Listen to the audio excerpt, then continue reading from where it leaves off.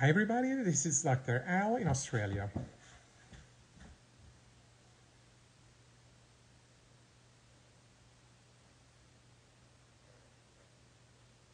Hi, everybody. This is Dr. Al in Australia. Good evening, Australia. Good afternoon, Iran. And good morning, the United States. Hi, welcome. Hello. Morning, afternoon, evening. Salam. Welcome. Hi, everyone. Welcome aboard. Hi. Good evening, Australia. It's almost 11:30 uh, p.m. in Australia. It's uh, around 5 p.m. in Tehran and 7:30 in Denver, Colorado, and Ireland.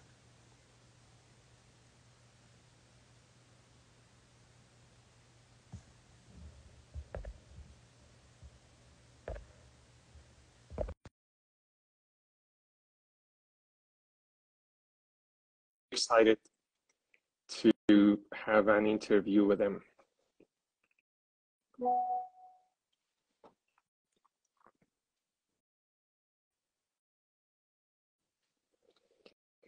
It's 9.30 in Toronto.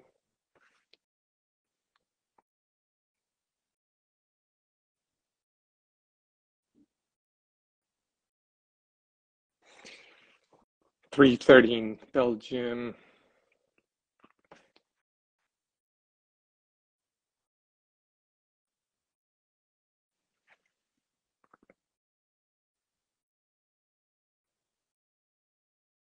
Yes, I'm going to have an interview with Nima Alam. Hopefully he will be in soon.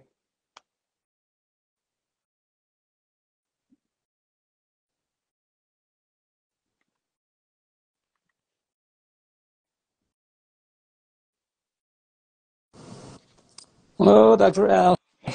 Hey, How are how you? are you? Good, thank you. How are you? great to see you. You too. So, hi, everybody on the line. Yeah, everyone, uh, we just wait for one, one more minute for Okay. people to join. Thank you for your time. Would you like to have tea or coffee, or you had your? I'm not that coffee guy. I had all my tea. So, yep, Cool. Thank you very much for your time. I know it's early in the morning in the States, so thank you for your time. sure. Glad to be here. Thank you.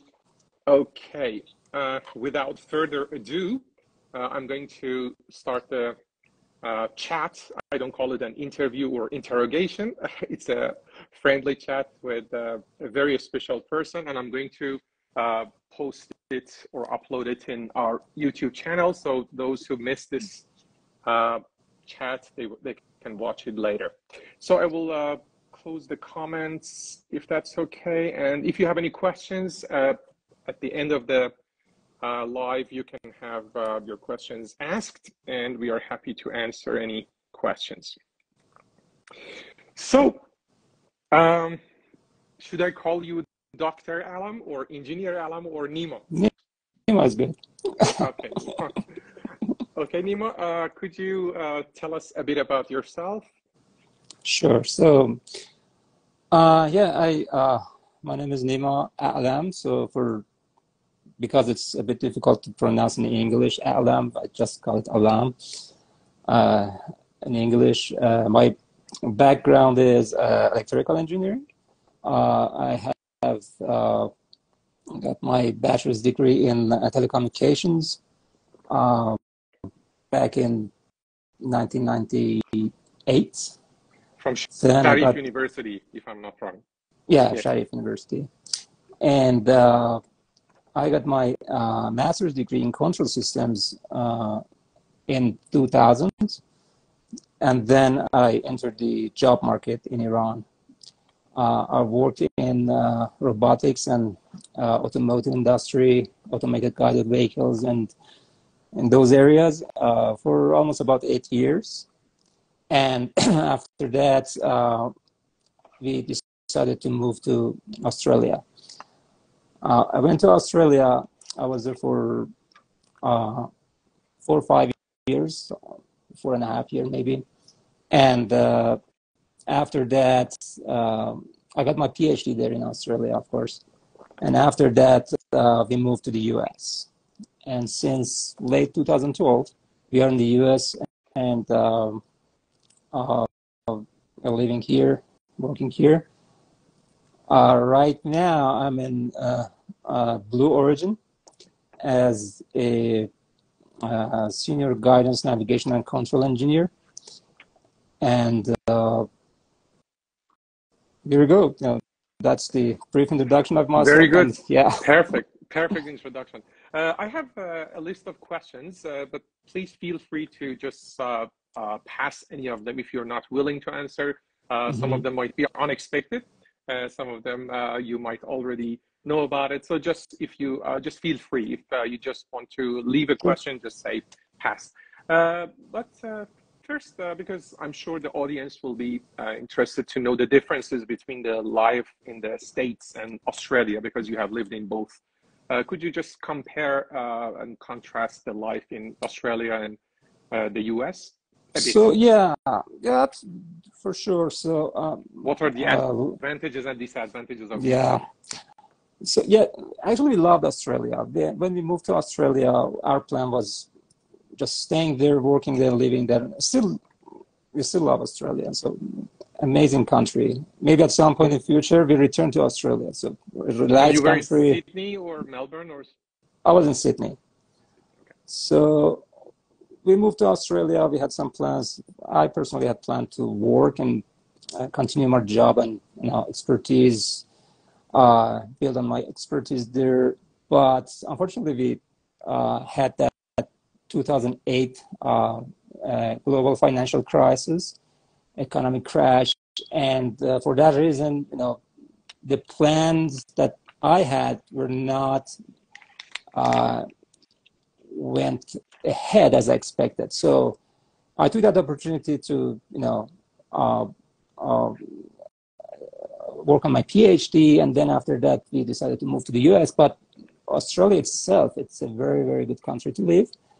Uh, we moved to the here is good. Here's some advantages. here, some advantages there. But if you want a relaxed lifestyle, lifestyle, sorry, and uh, the, not being worried about any other thing except your personal life and enjoying your life, Australia is the best place.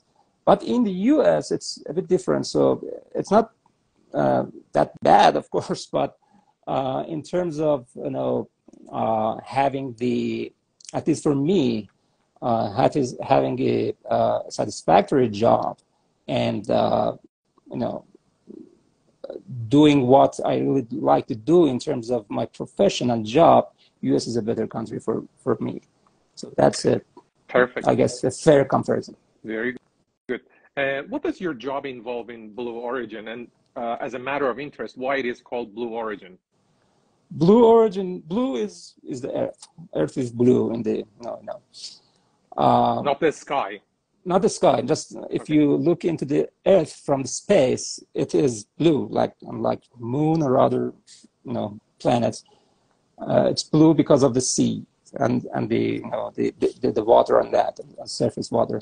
So the, the blue refers to earth and origin means we are in, in the earth and origin from now. The blue origin uh, company uh, has a vision, very super ambitious vision of uh, uh, millions, millions of people living in space and uh, uh, for the benefit of Earth. So this is the vision.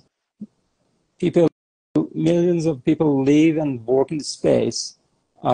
in actually future, I don't know where it, where it can happen really, but uh, this is the main vision of the company, and but getting to that point, uh, uh, you know, it's not easy. You know, first of all, it should be economically reasonable.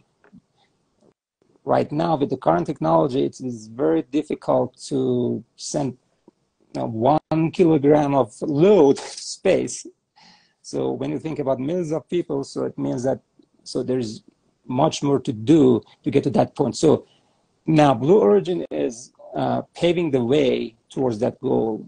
Uh, it's not only Blue Origin. There's a couple of other companies, private sector companies, which are doing this. But because I'm in Blue Origin, I can explain more about that. So moving the people space, for example, living and working in space stations or the next available destination will be moon, uh, needs to you know have some infrastructure over there. So moving those infrastructure to space means we need some technology, some rockets that are capable of moving those heavy loads and everything and infrastructure to space. So these are the main areas that Blue Origin is working on right now. And uh, I think it might be of particular interest to our audience uh, as uh, I guess the, this company is owned by Jeff Bezos. Is that right? Yeah, this is a Jeff Bezos company. Good. And have you ever had a meeting with him or uh, have you like no, I, I have not had a meeting so far with him, but he he, he is around, so he, he has some, you know. Actually, I'm in Denver office, you know, uh, so that's the thing. But the headquarters in uh, is in um, Seattle. Oh, good. Yeah. Very good. And uh, what is your dream job? Is it your dream job, or you have a, another dream job? Um, no, I would say my dream job is a job that I really like to do, and this is this is one of those jobs. You know, this is the not this is not the only job, my dream job or the job I like, but this is one of those jobs that I like. And uh, looking back into my career path, it has been around and focused on this. You know, um, let's say GNC. Uh, even when I started my job in Iran. Perfect. And uh, did you ever have any role models uh, in your life uh, in terms of job or like in general? Not really. It's not not a person. Uh, so, but I have been in some situations like no, even in high school, surrounded by many you know talented students, you know, with many bright minds and you know uh, many good goals for achievements and progress in future. So, and even in the university, the same. So, the, I would say that society uh, was more of a role model for me than a specific person that, hey, I want to be like that. Like this, no. Good. Uh, what has been your three ingredients to success? Okay, first of all, I, I would not use word success. I, I cannot consider my uh, myself as a successful person, but, but I can say so. Because you know, I recently coined a word, and I'm going to suggest it to Oxford or Longman to add it to their uh, list of vocabulary, and it's high chai uh, for high achievers. I think you are one of those high chais. I would say achievements. So everybody has some achievements, so, uh, more or less. So I have some achievements. That, that, that's true, but uh, successful being successful is a big word. Uh, I'm not there yet. But anyway, so you ask about three ingredients. So I would say the first thing is my passion. So whatever I've done so far, uh, I've been passionate for that. Uh, and I, I say it's very important to for everybody to be passionate about whatever they do in order to do it correctly and perfectly. And the next the next thing is maybe I have been very uh, perfectionist or perfectionism. So whatever I've started to do, I've tried to do it in a perfect way as much as I could. So it's not like, eh, let's do this. Mm, know, it passes, you know, let's go to the uh, next thing to do. No, no, whatever, even simple things. Uh, I've been trying to do it very perfectly. And the next ingredient, maybe I, I usually pay attention to details. So that's another thing which, yeah, I remember it, it, it has been very helpful for me uh, attending to details. Perfect. So uh, it's a good uh, if I want to just uh, sum up uh, what you just said, so you were passionate, you were a bit of a perfectionist, and you had keen uh, attention to detail. Uh, very That's good. And have you ever had any failures, and how did you react? Oh, sure. Without failure, you cannot have any achievement. So that that's for sure. So failures. Uh, now, I can have some examples of technical failures in job, but I would say another example, which is more, more meaningful for me, and I guess it's more important. So the, the main fail- one of the failures that I had was uh, the fact that when we moved to Australia, our plans were not uh, uh, going ahead as expected. So I went to Australia. I had relatively good resume with me, in terms of having eight years of job in high-tech you know, industries, uh, robotics, intelligent robotics, automated guided vehicle control system, and everything, and also maybe four or five four or five years of uh, uh, managerial positions, you know, and then I said, okay, uh, we go we go there, and everything will be good. You know, I will find job, but we had that unexpected, at least for us was unexpected situation that uh, global economic crash happened and all hiring were frozen uh, for that time, uh, 2008, 2009. And uh, all of a sudden I noticed that, hey, I'm in a situation that now I, I cannot expect the job I was looking for that time. So I tried for a few months and uh, I saw that, nope, this is not going to work for me. And uh, now, what can we do? I remember many people returned to Iran. So that time we're almost not the starting, but very beginning of moving people from Iran to Australia under skill migration uh, programs and those sort of things. I remember some people returned to Iran because of that. Uh, but I said, okay, let's take this uh, threat and convert it to an opportunity. I decided to continue my PhD there. I didn't have any plan before moving to Australia for a PhD, and that was a good opportunity because uh, I entered Australia with permanent residency, so PhD was free. That's that's a good point. And uh, also, I had a few publications from my master's degree eight years ago, and with that, I could get some scholarships. So I took that opportunity. I jumped and uh, applied for PhD immediately. After a few days, I got the offer and I started. And I said, okay, so this is this is this that was one failure, which I could not do my uh, now run my plan, but I changed it to another opportunity. Yeah.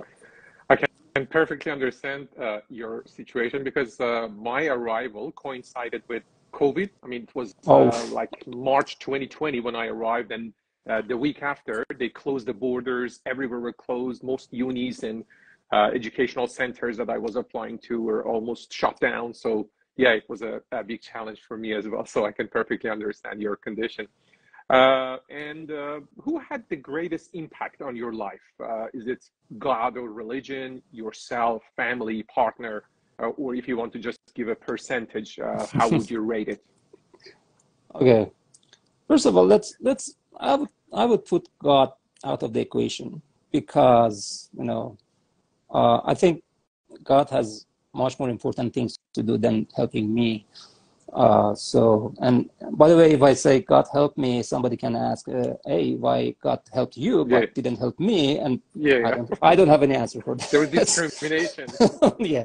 So, so I don't have any answer for that. So, I would say first uh, is is is myself, and I think everybody's you know uh, uh, efforts in life and trying to achieve whatever they want is the main main factors because unless you don't want that you cannot cannot get there. So so myself family is very important because going through these sort of you know challenges in life if you do not have if you have a family if you're single and do not have any family depending on you or living with you or but if you have a family in relation with you you. So support from them is very important because otherwise you cannot uh, go through your plans and implement whatever you want to do. Uh, uh, and that's challenging. So I would say myself and family. Yeah. Very good. Uh, before we go any further, I should uh, commend you for. I mean, uh, it, it's a it's a, a real proof that you do everything at its best because you speak English very well. It's unlike what we think of all Iranians who speak slowly with a, a very heavy accent. And I really, really take my hat off uh, to you because of this uh, good accent and good speed, Uh, good oh, intonation. thank you. It's, I should. Uh, I'm proud. And uh, what is your favorite food? And is there any food that you dislike or hate? Yeah, sure. I go with hate first. I don't. I, I don't like seafood. Any anything under sea level, I cannot eat. So that, that- that's a that's my rule. Uh, Okay. so that's that's and and you know that was a shame in Australia, of course. You know, say that great seafood in Australia, but yeah, that that's the way for me. Uh, so, but the food I really like is uh, fesenjun gilani with uh, sour pomegranate paste, the white ones, not the you know, sweet ones Mhm. and fresh garlic and uh, local chicken. And And are uh, you originally from North? no, I'm, I'm just asking. I'm no, okay. no, I, I've just had this were- opportunity to to enjoy this this meal Okay. and and with the sticky rice. Yeah, And when was the last time you were in Iran? it was mm, almost two years ago. Two years ago, so it was Yeah. almost recent. Good. Yeah. And uh, what is this? What is the strangest food you have ever had? Strangest food. Crocodile. Crocodile. You have Yeah. tried it. Yep, How- in Sydney. Was it? That was good.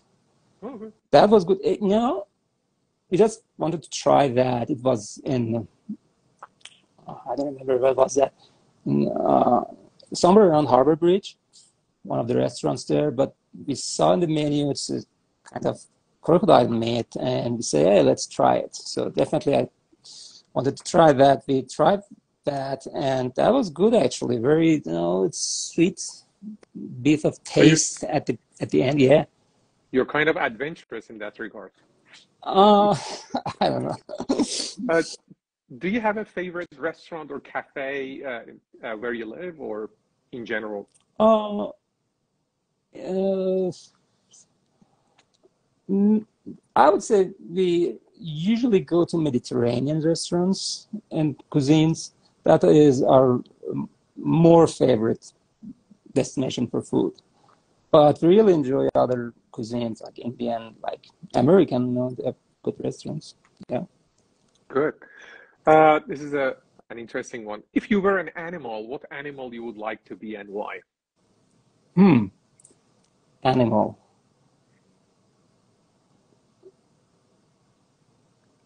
Maybe I would like to be a cheetah. Run fast. Okay, cool. So you are always kind of, you know, you want to uh, just run ahead of others and be the pioneer or something. Mm, Not, not, not really. That's a good point. I haven't, you know, I don't remember that I've compared myself with anybody else to, you know, pass on or, you know, be ahead of somebody. But I've always been, you know, kind of uh, uh, eager to move fast, s- waste time. So, because time is limited, so you don't have a lot of time. lot of time. Yeah. And almost on the same level, what's your favorite car? My favorite car. Uh, my favorite car. I like those, uh, you know, old frog-shaped Volkswagens. Uh, Beatles. Beetles, yeah, exactly. Yeah, I like that. Mm, Good. So, uh, because you're a tech kind of person, you don't, you're not into Tesla or something, like. Uh, Electric uh, cars, not, not really. So yeah, I, I see te- Tesla and other hybrid. Uh, you know, first of all, here's the, I know the, the gas is still cheap here, so having a, a, a, a usual car is better for me, and more, you know, obviously more gas stations and things. And for electric cars, right now it doesn't work for me because, because I have a line coming through the highway. And you know, these cars, one of the option, one of the aspects of these cars is that uh, they take advantage of regenerative braking system. So when I'm on highway, that advantage is gone. So, uh, so for that reason, at least it will. I, I should be in charging stations. You know, it's it will be a you know headache. But uh, right now, I prefer just the normal gas cars.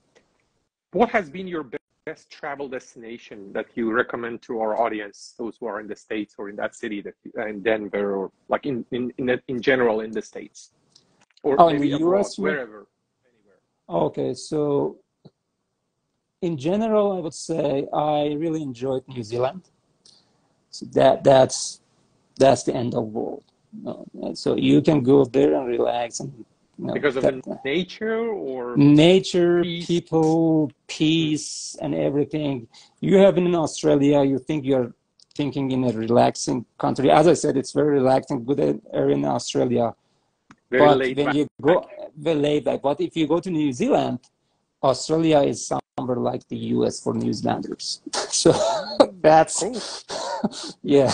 So that's a good destination to try at least. Yeah. Sure, maybe I will in the future. Uh, and uh, going back to your English, uh, because again, my area of expertise, and you know, I would like to know, and many audience want to know, how did you learn your English, and which skill do you think is the most challenging?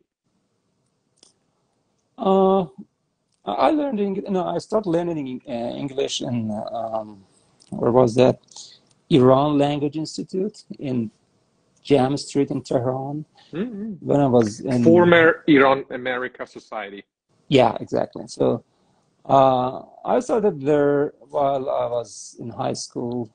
And then uh, I would say the big thing that helped me in English was my business travels when I started my job in industry. So we are importing many technologies to automotive industry that time. So I had this opportunity, fortunately, to visit many other countries, mainly European countries, and uh, for business purposes, and that helped me a lot and helped me to, you know, push me to talk. So uh, I would say that's that was very important, and that basis from Iran Language Institute was very helpful. uh, helpful. And then we moved to Australia and, and the US. So, which yeah. skill of English do you think is the most challenging? Is it grammar or listening or vocabulary or speaking?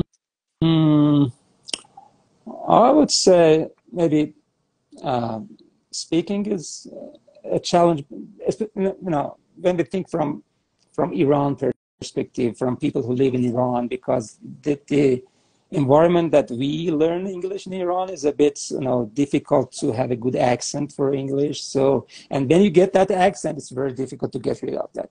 So that that would be the challenging part. Grammar, you know, for day to day life, or even for job, you know, I don't have had any problem with grammar and writing. Maybe writing is important, but yeah, for for professional jobs. But yeah, How important was English in your life or career in finding a job, for example? that was absolutely important because uh, once I stepped out from Iran, entered Australia for applying for a job, even doing my PhD, everything. Uh, you know, English was the first thing uh, I needed to be able to get to the point that I wanted to. So either it's in, uh, in, the university, at the university, or job, or whatever. Yeah. Perfect. And uh, what do you do in your free time? Do you ever ha- do you have any free time or That's a work? good sign. no, uh, yeah, the free time is uh, a very scarce thing to me these days, but maybe over the past couple, few years. But really, uh, if we find any free time, we right like uh, enjoy the. First of all, we are in Colorado. We enjoy the beautiful nature of Colorado in different seasons, different attractions, activities here. Uh, and uh, yeah, that's uh, and uh, enjoying my free time with my toddler son, four-year-old son, Good. which is very time-consuming, and you know, uh, His name yeah, was Ryan, yeah? Ryan. Oh. Yeah. Yeah, good. And uh, do you play any musical instruments or uh, do you listen to any kind of music? What kind of music do you like? Uh, I'm not playing. When I was maybe the last time I was playing like, keyboard, it was in high school, and after that, I just my keyboard is still in Iran. You know, the electronic keyboards. Hmm. Uh, I was uh, enjoying playing that, uh, but I never uh, pursued that music thing professionally. It was as a hobby I had that time, but right now, you know, I enjoy more pop music. Yeah. And uh, do you have any, uh, who's your favorite uh, Iranian or foreign singer? Iranian singer, singer, hmm, uh, Iranian singers. Maybe I, I'm not familiar with the uh, current Iranian singers. I, I like, uh, you know, Mr. Uh, Shajarian's uh, uh, works, but new people, new singers, I don't know them. Uh, but you know, from this side, I like many of those older LA, let's say, singers. So Okay. our age, yeah. So Cool. And uh, who's your favorite Iranian or foreign actor or actress? foreign uh, or Iranian actor. Uh, Mr. Entezami was one of the best one that I was enjoying his works. Um, again, recently, I don't know many recent actors right now, but from those days, which we were watching those movies, you know, Mr. Entezami was one of them. I like that. Perfect. And uh, could you uh, rate like or name uh, your top three movies or series that you would like to recommend? Uh, I can say what I like, but I cannot maybe recommend that. But uh, because you know, I, you know, unfortunately or fortunately, I'm not a guy that actively looking for some sort of movie or series coming up, something like that. It, it has been never like that. But uh, I had the opportunity to enjoy um, for series like Friends. I like that series. You know, Big Bang Theory. That was kind of uh, series that I like. For movies, You're more more into sitcoms, yeah, yeah, yeah. like So, for movies, yeah, actually, I like a, an Iranian movie a lot, and I've watched that movie a few times, and the name is The Tenants. I don't know if you have seen yeah, that. yeah, Yeah, yeah. that, that- I I think that was a very, very good by uh, Dariush. Mehrjui. Yeah, exactly. So that was a masterpiece. masterpiece in Iranian movie history, I would say. Yeah. And do you recommend any books, or have you read any books recently, or do you have time to read Uh, books? Uh, again, unfortunately, uh, no, I'm not uh, that person of having plans for regularly reading books. The, the last book I was reading and I had to read was, I don't know, that was something technical here about uh, numerical methods and integrated navigation system, which is not relevant to your question, of course. But before that, uh, maybe I remember I was, Who Moved My Cheese? Some, yeah, that was it. Yeah. Um, regret anything in life? Sorry, your voice got a bit choppy. What was that again? Do you regret anything in life? Do I regret anything in my life? Mm, I no, I don't have anything to tell about here. Very. And uh, what piece of advice would you give the young generation or uh, the youngsters? Um, I would say, know, definitely have a goal in your life and uh, try to Of course, you're the- young, by the way. Uh, You're not- young, but younger. young. Okay, so thank you for for your attention in that area. So yeah, so yeah, first of all, have a goal. Try for that. Try for dreams. Uh, it's not easy for everyone. No, I see this. Uh, no, I'm not very involved in social media, for sure. I've already received some uh, follow requests on Instagram. Just that you know, there's nothing to follow there. because I'm not active in Instagram Yeah, if you have something if you want to follow, just connect me to on LinkedIn if you want to talk. Mm. Uh, so uh, yeah, have some goals, plan for your goals, go for your dreams. There's difficulties for sure. Don't expect that you uh, you know to achieve uh, something very easily. Don't look into social media to say, hey, these are these people are you know rich or whatever that you, is your dream, but and think that they have achieved those things very easy and freely. So no, just be focused on what you, you- do. You never envied anyone. You never what? Sorry. And you never envied anyone's success or anyone's life. No. Good.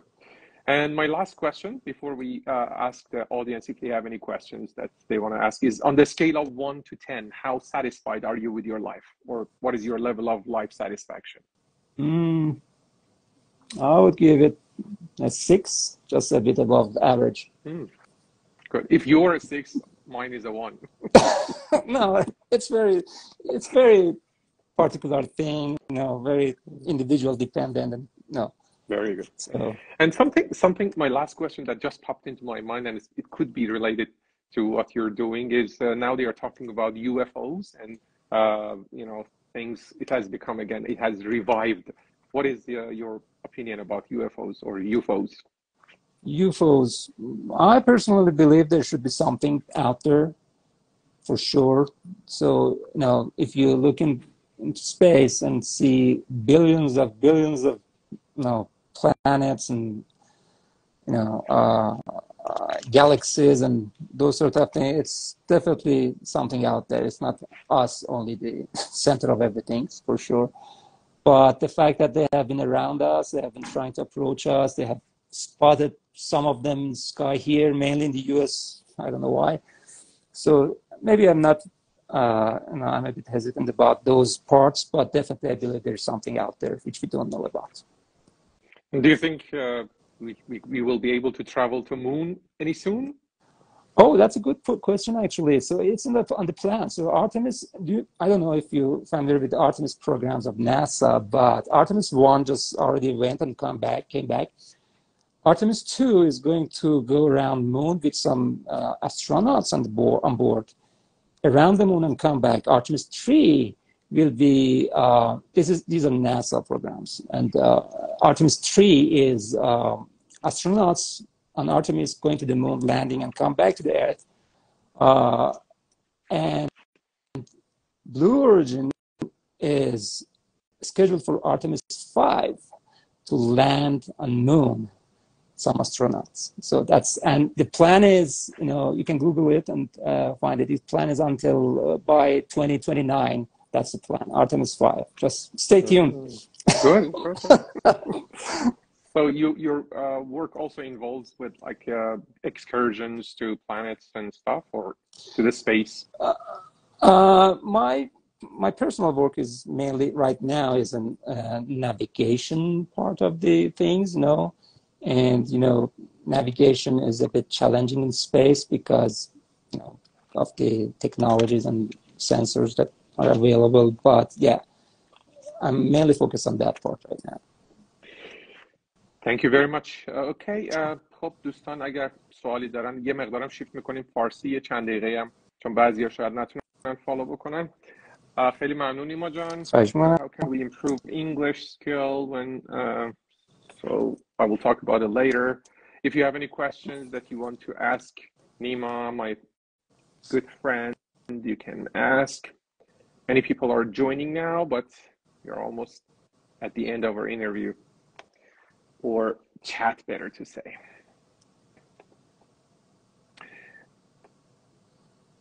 Okay نیما جان خیلی خیلی ممنون. اگرم ممکنه یه توضیح کوتاه فارسی هم بگی چون بعضی می‌پرسن که اگه میشه فارسی بگین که مثلا شغلتون در شرکت چیه و کارتون چی هست اگه ممنون میشم بگین.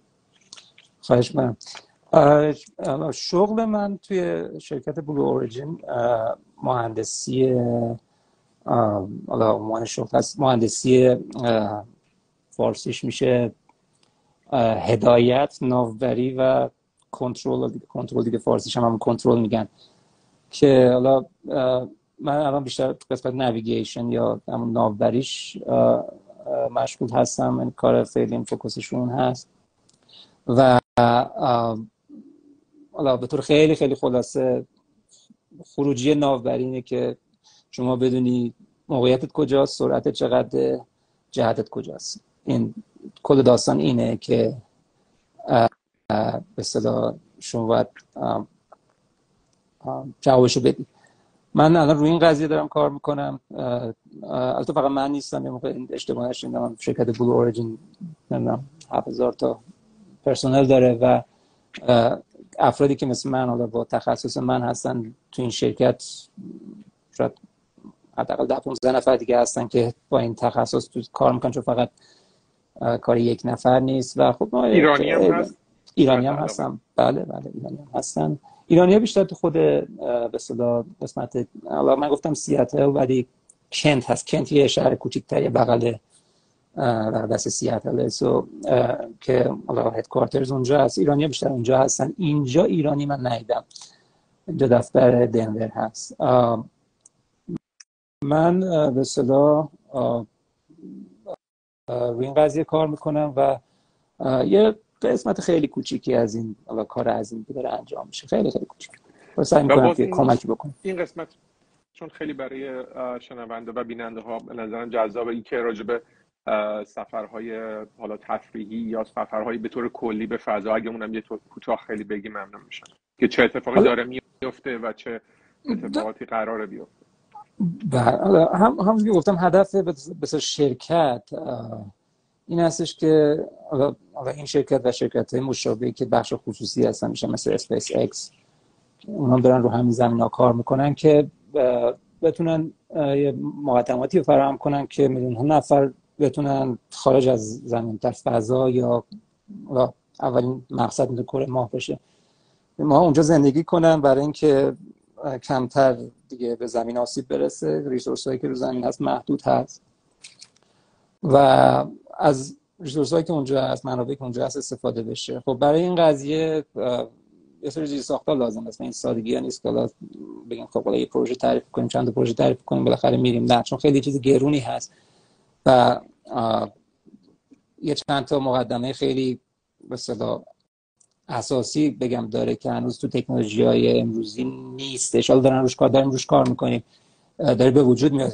ویدیوهاش هم هست توی یوتیوب. برای, برای مثال مثلا تکنولوژی تکنولوژی که حالا تا الان بوده راکت که میفرستن بالا حالا در یه بار مثلا وقتی میره دیگه وقتی برگشتی تو کار نیست که بخوان استفاده کنن خب این محروم به صرفه نیست. حالا یکی از این چیزهایی که باید مثل اون قضیه که میلیون ها نفر توی فضا و کرات دیگه زندگی کنن اینه که راکت هایی باشه که برگشت پذیر باشه رو بزنه. یعنی برگرده مثل هواپیما. برگرده بشینه دوباره بره بالا. خب این محروم صرفه می‌کنه می‌تونه بکنه قضیه رو. و اینکه راکت هایی که بتونن بار با خودشون ببرن یعنی هر کیلوگرم بار بردن به فضا حالا برنامه که از میلیون ها دلار هزینه داره. خب با این اسکیل که نمیشه. بنابراین راکت ها که بتونن بار سنگین ببرن اونها تکنولوژی است و اینا الان چالش هایی هست که بیشتر پیش روی شرکت البته خب ما چیزای حالا بلو اورجن چیز حالا اسمش می‌ذاریم حالا تفریحی حالا می‌تونیم بذاریم که میاد بله تا ساب راکت های ساب اوربیتال هست که میره بالای تا اونجا که بالاخره بی وزنی هست. مسافراتی مسافرایی که مثلا علاقه من هستم با هزینه که ما نمی‌دونیم چقدر هست. من نمی‌دونم حداقل. میرم بالا. ان چیز تایتانیک نشه که میرم رفتن برای تایتانیک آره اونم بالاخره ما یکی از چیزهای مهم شرکت همین بحث سیفتی و اینا هست. که حالا میرم بالا حالت بی وزنی واسه چند دقیقه ده دقیقه تو رو تجربه می‌کنم میام پایین. حالا اون حالا اون تکنولوژی اون بحث راکت های چیزو داره دیگه. یعنی اونجا داره استفاده میشه. برمیگرده دوباره میشینه بعد دوباره استفاده می‌کنم مقدمه برای اون کار اصلی. یکی از دوستان پرسیدن راجع به ماموریت خانم یاسمین مقبلی اطلاعاتی دارین یا می‌دونی چیکار می‌کنن نه من در همون حد که توی اخبار و آنلاین هست چیزا جدایی از اون نمی‌دونم خیلی خیلی لطف کردی. من دیگه نمی‌خوام خیلی طولانی بشه وقت تو بگیرم چون می‌دونم روز کاری در پیش داری و خیلی افتخار دادی باعث افتخار ما هستین. خیلی لطف کردین. دوستان آشنا شدن با یه ایرانی موفق هم از لحاظ شخصیتی هم از لحاظ شغل هم از لحاظ زبانی که برای من باعث افتخار بود خیلی ممنون خیلی ممنون که این فرصت پیش اومد ایمان جان که شما روزت بخیر صحبت داشته باشم مرسی. خدا. خدا. خدا.